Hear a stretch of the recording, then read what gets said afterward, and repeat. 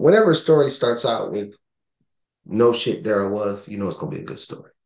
so um there I was. Like I tell people, uh I'm not I'm not a 100% nerd. I have vices. You know, I go out there and play poker and dabble a little bit. You know, risk free money. None. You know, I ain't sitting here mortgaging a house to play poker or something like that. So last night I'm uh, sitting there at the poker table, and I'm sitting in the seat, and then the dealer. We close to the dealer, and some people were there. You know, all my conversations, no matter how they started, all it always comes back to finance or personal finance. And then the lady working there, she says, uh, she's like, "Hey, the Beyonce concert coming up, and I'm wondering should I just get another credit card to get the to go to the concert? And then my exact reply, and I don't know this lady from you know a hole in the wall, uh, but my reply was, I was like, I'm not, I can't tell you to go get a credit card for Beyonce. I was like, but if that's what you're gonna do, that's what you're gonna do.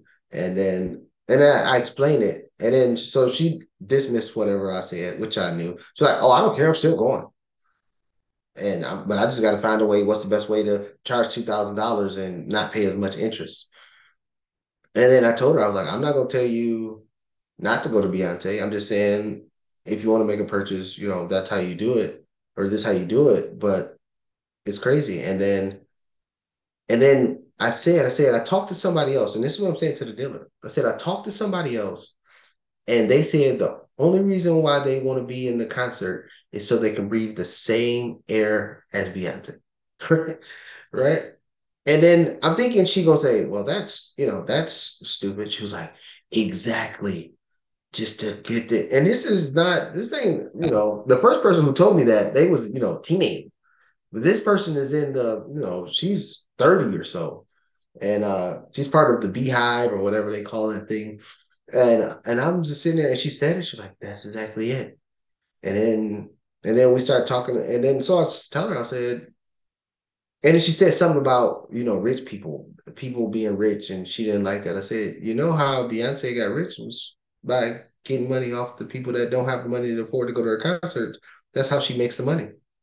And she was like, yeah, but that's how everybody do it. Like, okay, so it's bad for everybody but celebrities to make money off the poor but it's bad for everybody else to make money off the poor. and it just it's just magical how the mindset and the thinking of people but yeah i get out there so i could you know keep the pulse of what everybody else is thinking so that's how i do it go out there and play poker Gosh, that's insane. Yeah, I know we get comments like that too, like, "Oh yeah, just keep taking advantage of people." Like, it's, it's not what we do, you know. Like, there's always, I mean, in reality, no matter what you do in a capitalistic country, there's you're always going to be benefiting someone that's wealthy.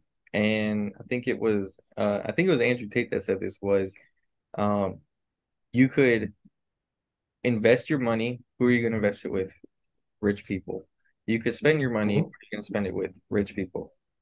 In one way or another, it's going to go to rich people. So you know, and it's it's just because you're either creating something that people want or creating something that people need.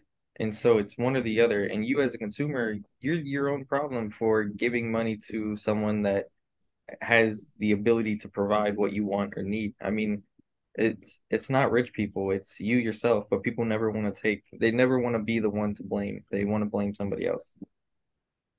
That's the easiest way for people to do it. And I mean, it was a good time. Uh, I stayed there longer. I stayed there for like five hours, and I was just talking to people from from everywhere. I mean, it was so actually somebody from Venezuela there. Talk to them about you and your wife and all that. But I mean, it, it was just it was just crazy to see the different mindsets, the thought processes going through people, and that's what that's what I do. I don't, you know, I mean, Alex, you see me out. I always talk.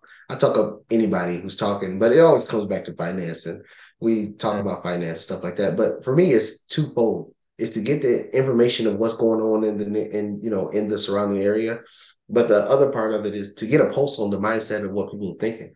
I mean, I, so I know people are gonna say, "Well, that's just what that one person thinking." No, it's not far off from what everybody else is thinking. Right. So just to keep a pulse on what's going on and things like that, and I do that from time to time just to you know stay abreast of what people thinking because I be in my little nerd box like, "Oh, this is what I'm doing." I'm not paying attention to what's going on, but I always say if you study history, uh, if you study history, you won't repeat it. So I like to see what people thinking, and sometimes give me a tactical advantage on okay, people thinking this, so I need to pivot this way. It's just like uh, back in a 08 crisis when you know everybody and their mom was talking about housing, like um, people at McDonald's, taxi drivers, everything. Oh, you know you're in a bubble. Just like recently when when uh and I told you this, everybody's talking about crypto. And uh I, I said, look, you never invested in your life when you're talking about crypto. So we're in a bubble. And I told you I flew to Texas the next day. I woke up and I sold the Bitcoin. That's just what it is. So I always talk to people to see where they at, to see where I can get a tactical advantage at, and and you know, see if if the world is still crazy, but they are. So we good. yeah, they are. Well, with all that being said, guys, if you liked the video, uh, hit the like button, leave a comment down below, subscribe, share. We'll see you guys in the next one.